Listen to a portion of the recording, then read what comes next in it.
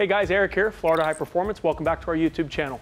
I'm standing in front of a 2018 Grand Sport Corvette we just finished up for our customer, Jimmy.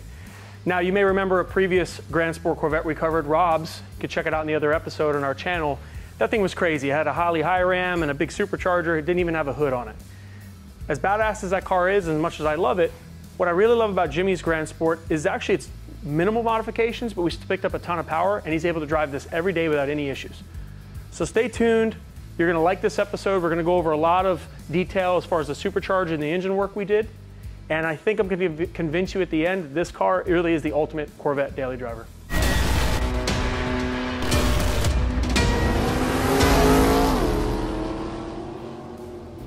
Hey guys, welcome back.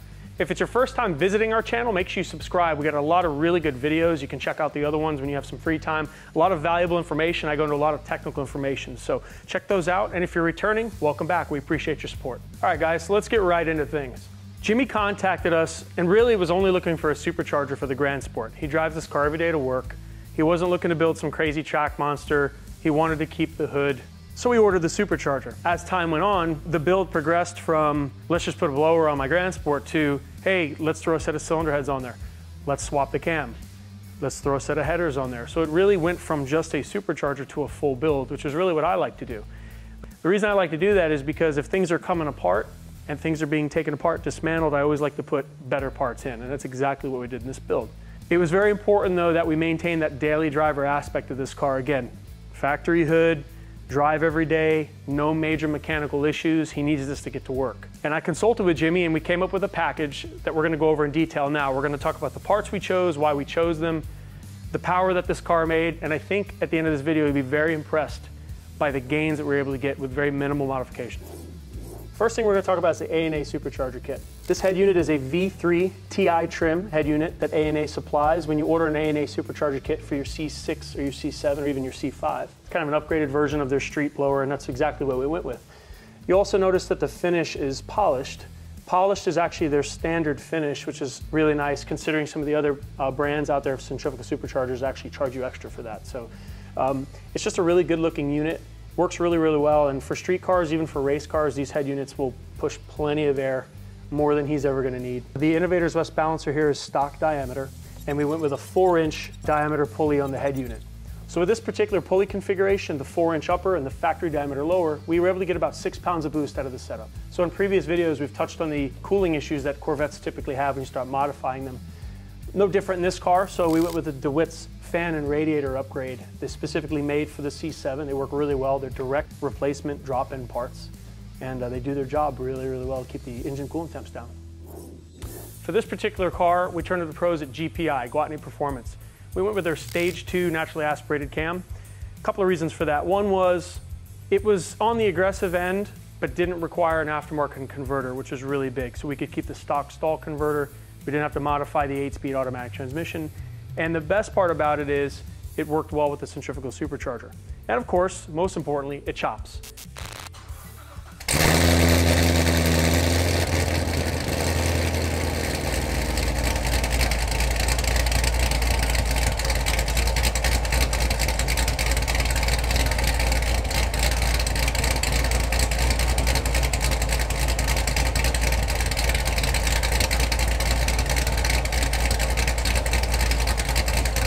Ooh wee, man. I don't know about you guys, but I love a choppy cam. I mean, there's nothing better. Am I right? You'll also notice the engine is equipped with our custom billet LT valve covers. These particular valve covers have coil provisions. We also sell the valve covers that do not have coil provisions should you want to relocate the coils. We offer both. We offer them in different colors, black, red, any kind of custom powder coat.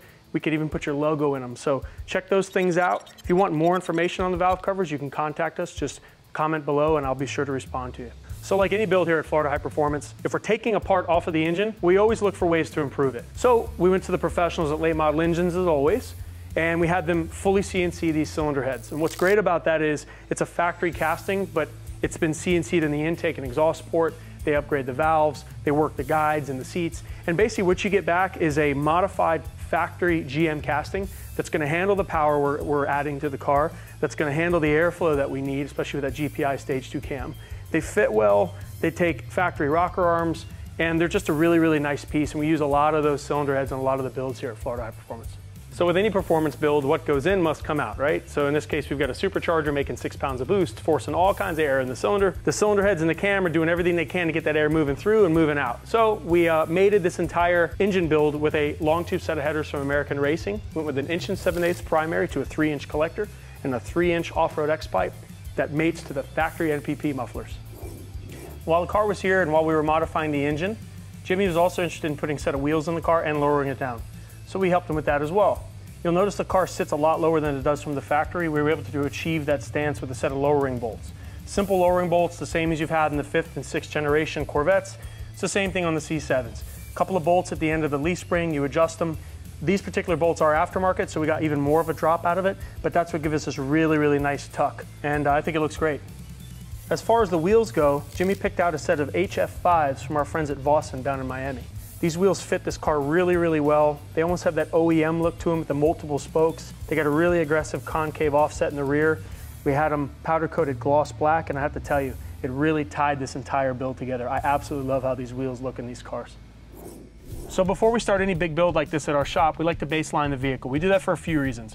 Obviously to get the real world horsepower and torque numbers before we do any modifications, and to make sure there's no other mechanical issues going on with the car that we're not aware of or even the customer's not aware of. So if you're wondering, this stock LT1 with a Corsa intake on it made 397 rear wheel horsepower and 418 foot-pounds of torque. Once we added all the modifications, the supercharger, the cylinder heads, the cam, the headers, and we put it all together and we got it back on the dyno, we turned to our friends MS Tuning out in Houston, Texas for a remote tune using HP tuners.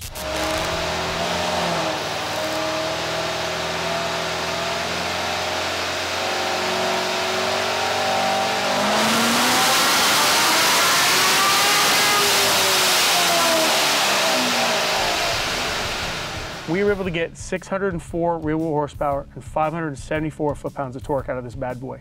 That's on 6 PSI, 93 octane, no meth, stock converter, what I would consider a mild cam, really no fueling upgrades, stock injector, stock fuel pump.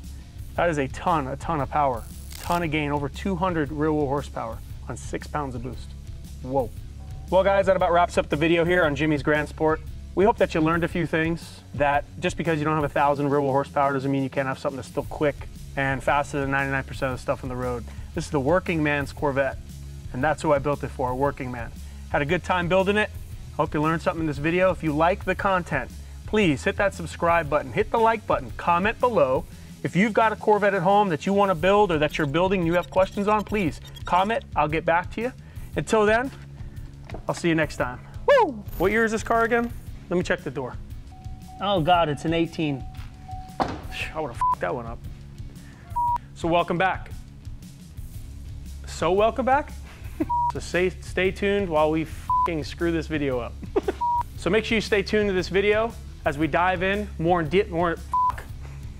We're gonna talk more about that later in this video, so make sure you stay tuned and kiss my ass.